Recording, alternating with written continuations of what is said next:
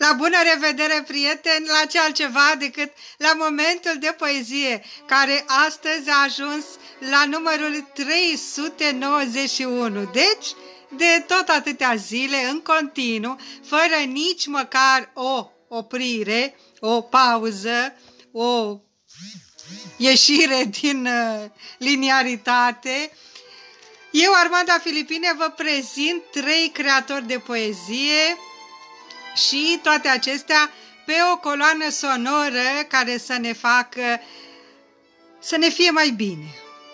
De această dată, coloana sonoră este din perioada baroc și compozitorul este Francesco Durante. Ascultăm concerte pentru quartete. Primul autor de poezie pe care vreau să vi-l prezint este un foarte cunoscut uh, poeților care au fost la festivalul din Novi Sad pe care îl organizează. Zovan Zivlak este autorul nostru de poezie, fiind deopotrivă și eseist și critic de literatură și critic de artă. Născut în 1947,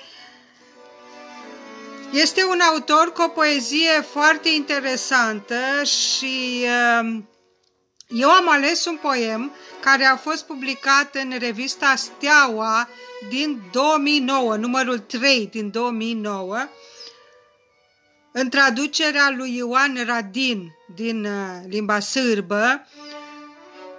Acest poem mi s-a părut că îmi sugerează nu știu să vă zic exact de ce, nu vreau să fac acum teoria literaturii sau uh, critica textului, dar mi s-a părut că îmi sugerează o stampă japoneză și de aceea pe acesta vreau să vi-l prezint.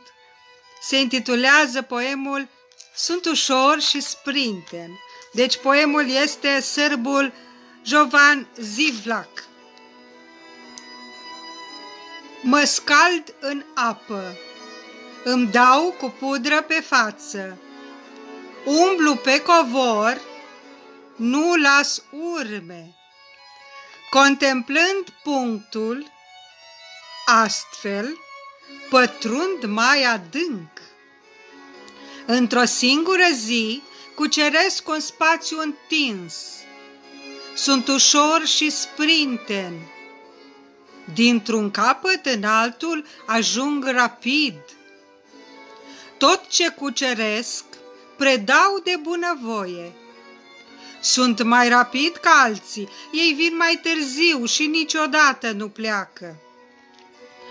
A mea e renunțarea, a lor agonisirea. Cine sunt aceste noroade care se adună în orașe, de ce sunt vesele? Eu am fost de mult aici și am plecat. Iată un poem extraordinar de interesant,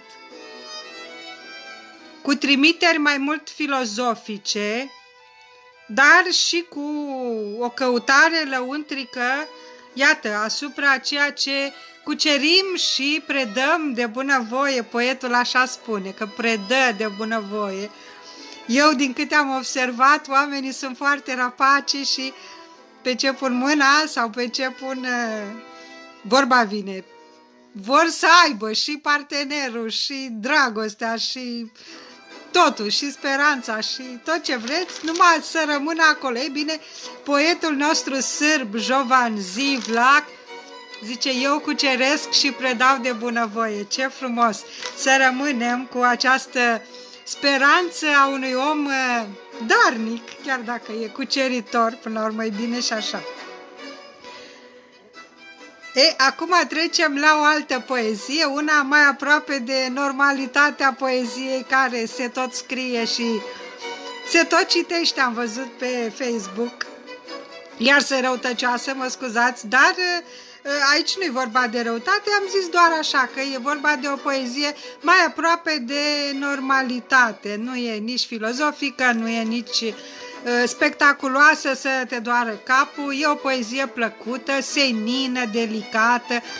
Autoarea este Ana Hâncu, Născută în județul Prahova, într-o lună martie în 1950, este poetă, prozatoare și jurnalistă și vă prezint dintr-un minunat număr din revista Ieșană Poezia, numărul 2 din 2014.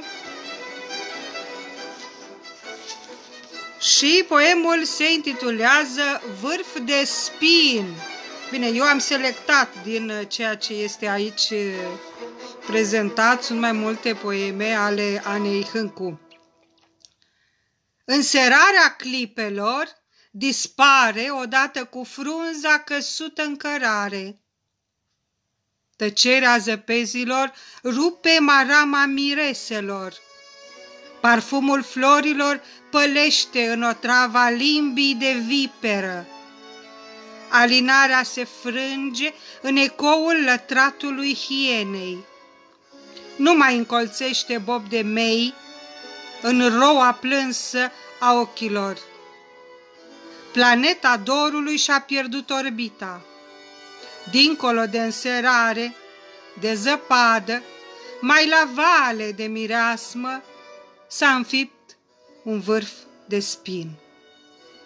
Și trebuie să recunoașteți că dincolo de uh, farmecul lingvistic din uh, poezie, există acest uh, spin care apare direct din uh, titlu și care ne face atenți, cum v-am prezentat, că Ana Hâncu, autoarea, este și jurnalist. Jurnalistul se întâlnește toată ziua cu mult mai multe urățenii decât le observă autorul de poezie și cred că o să-mi dați dreptate și în această idee. Și cum avem o triadă de fiecare dată la momentul de poezie, cel de-al treilea autor este tot o autoare, Ania Vilal, născută într-un decembrie 1981 la Constanța, absolventă de filologie, poetă și traducătoare, și vă prezint un poem din volumul său apărut la Brumar, la Timișoara, intitulat Eu, Mama Tare și Tu. Un uh, volum cu o poezie foarte dură și foarte uh, concentrată pe persoana cum ar fi acelui care scrie poezia. Deci este un eu acolo, care de fapt este și din titlu, și am să vă prezint uh, din selecția pe care au făcut-o Claudiu Comartin și Radu Vancu în uh, antologia Cele mai frumoase poeme din 2011, apărută și ea la Brumar din Timișoara, dragii mei, în 2012.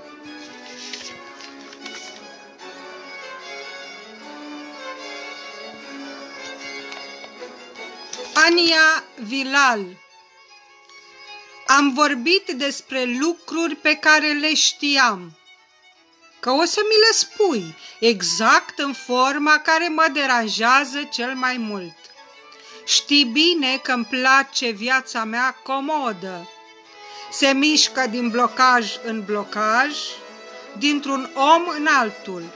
Sunt multe sincope, întreruperi, faruri de mașină care îmi zgârie fața. Dacă voi face accident, nu voi suna pe nimeni. Nu vreau ca mama să dea șpagă la doctori, ca să aibă grijă de mine. Am totul plătit la zi.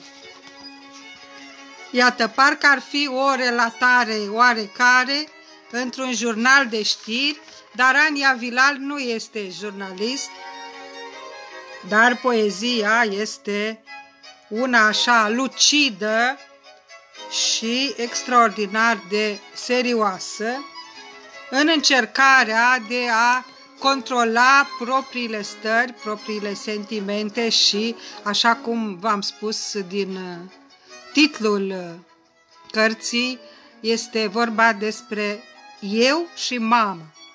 Ce poate fi mai frumos decât o poezie așa Evident că trebuie să citești tot ca să înțelegi și sau, în fine, să vrei să pătrunzi misterele poeziei, dar vă invit să căutați volumul și să lecturați, pentru că e o poezie interesantă, repet, alt suflu, alt limbaj, nu neapărat alte idei, altă exprimare poetică, ceea ce este minunat. Și e minunat că ne-am întâlnit încă o dată la momentul de poezie. Sper că sunteți toți sănătoși și vă protejați în această pandemie care, ați văzut, creează în continuare probleme și din cauza noastră că nu ne protejăm, nu-i protejăm pe cei dragi, dar la momentul de poezie nu-i nevoie să ne protejăm, ci din contră putem sta foarte aproape și mai ales foarte aproape de cărți și de autorii de poezie. Ca de fiecare dată, vă mulțumesc pentru întâlnire și vă dau întâlnire mâine la un nou moment. Până atunci, toate bune!